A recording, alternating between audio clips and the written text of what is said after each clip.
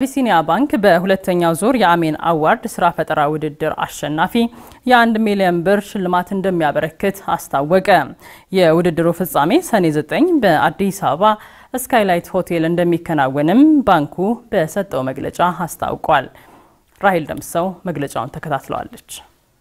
አቢሲኒያ ባንክ ከወለድ ነጻ የባንክ አገልግሎት ለሁለተኛ ጊዜ ባዘጋጀው ችግር ፈቺ ሀሳቦች የተካተቱበት አሚን Award ስራ ፈጠራ ውድድርን አስመልክቶ መግለጫ ሰጥቷል። የውድድሩን መስፈርት ያሟሉ 180 ተወዳዳሪዎች ሀሳባቸውን አቅርበው 126ቱ መመረጣቸውን የአሚን Award ዝግጅት አብይ ኮሚቴ ሰብሳቢ አቶ አበጋዝ ዚማም ተናግረዋል። እንግዲህ ባንካችን አቢሲኒያ በወለድ ነጻ የባንክ አገልግሎት ማዕከሉ በኩል ለሁለተኛ ጊዜ ያዘጋጀው አሚን Award የስራ ፈጠራ ውድድር ከፍተኛ ፉክክር ሲያሳትፍ ቆይቶ ሰኔ 9 ቀን 2016 ዓ.ም በስካይላይት ሆቴል አሸናፊዎችን በመሸለምና እውቅና በመስጠት ፍጻሜውን የሚያገኝ ይሆናል። ቴክኖሎጂ ግብአቶች፣ በግብርና ምርቶች ማሳደጊያ፣ በግንባታ ቴክኖሎጂ፣ በ manufacturing፣ በ domestic trade፣ በ service፣ በታዳሽ ኃይል በትምህርትና ጤና እንዲሁም በ e-commerce ዘርፍ ሀሳባቸውን ማቅረብ ችለዋል። ከ126 ተወዳዳሪዎች መካከል ከአንደኛ እስከ አምስተኛ ደረጃ ለያዙ የገንዘብ ሽልማት እንደሚያበረክትም አቶ አበጋዝ ገልጸዋል።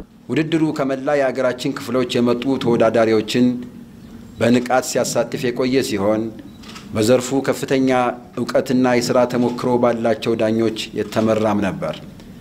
ውድድሩ እንደ አምናው ሁሉ ዘንድሮም በርካታ ቁጥር ያላቸውን ተመልካቾች በመማረክ ሳቢና ግሩም በሆነ አቀራረብ በሚንበር ቲቪና በተለያዩ የ social media አማራጮች በጥራት ሲያደርስና ብዙዎችንም ሲያነቃቃ የቆየ ሲሆን በተለያየ የዕድሜና የትምህርት ደረጃ የሚገኙ የህብረተሰብ ክፍሎችንም ያሳተፉ ሆነው አልፏል። በውድድሩ ላይ የተለያዩ ምዕራፎችን በብቃት በማለፍ በብዙ መለኪያዎች ነጥረው የወጡ ከአንደኛ እስከ አምስተኛ ደረጃን በማግኘት አሸናፊ ለሆኑ ተወዳዳሪዎች ባንካችን ከብር 200 ሺህ እስከ ብር 1 ሚሊዮን የፕሮጀክት ሀሳባቸውን መሬት እንዲያወርዱ የሚያግዛቸው የስራ ማስኬጃ ሽልማት ከታላቅ ክብርና ምስጋና ጋር የሚያበረክት ይሆናል። በሀገሪቱ የሚስተዋለውን ስራ አጥነት በገንዘብ አቅም ብቻ መቀነስ እንደማይቻል የገለጹት አቶ አበጋዝ ለስድስት የበጎ አድራጎት ተቋማት የገንዘብ ድጋፍ እንደሚያደርግም ተናግረዋል።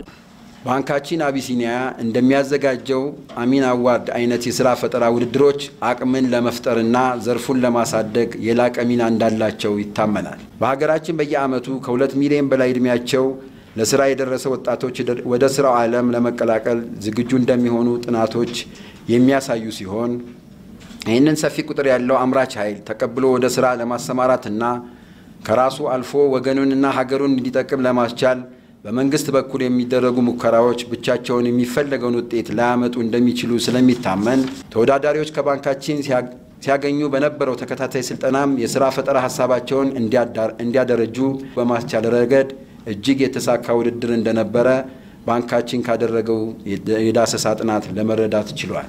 የመዝጊያ መርሃ ግብር ላይ በተለያዩ የበጎ ስራ ተሰማርተው ማህበረሰባችንን እያገዙ ለሚገኙ ስድስት የተራድኦ ተቋማት ባንካችን እንዳለፉት ጊዜያት ሁሉ ማህበራዊ ኃላፊነቱን በመወጣት የገንዘብ ድጋፍ የሚያደርግ መሆኑን የሽልማቱ ስነ ስርዓትም ሰኔ 9 2016 ዓ ም በስካይላይት ሆቴል የሚከናወን መሆኑ ተገልጿል።